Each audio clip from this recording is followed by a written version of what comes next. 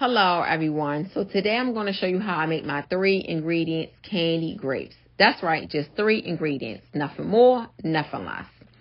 So first you're going to start off with some fruit by the foot or fruit roll up, your choice. Then you're going to be using some boiling hot water. If you don't feel comfortable using boiling hot water, you can always microwave your water. Just make sure it's super hot and please be careful. Your last ingredient, you will need some crushed up candy of your choice. As you can see, I've wrapped up my grape really, really good. And then I'm going to dip my grape into the hot water. And then I am going to coat my grape with that crushed up candy. Now, you have to completely coat your grape. This is how you will keep your grape from breaking down. They will eventually break down, but you can keep your grape for like a day, your grapes for like a day or two.